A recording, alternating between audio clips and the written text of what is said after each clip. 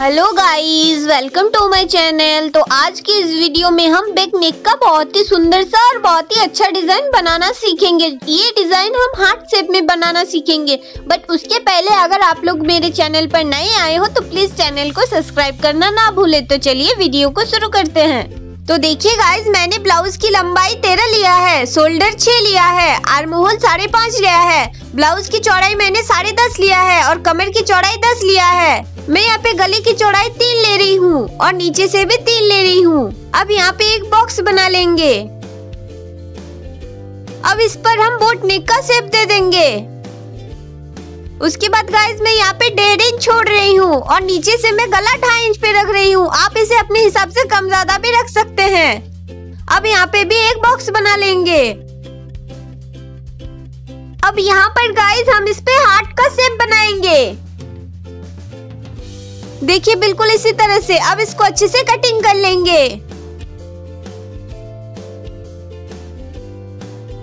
इसको बनाने के लिए मैं नेट फैब्रिक का भी यूज़ कर रही हूँ तो अब उसका भी कटिंग कर लेंगे।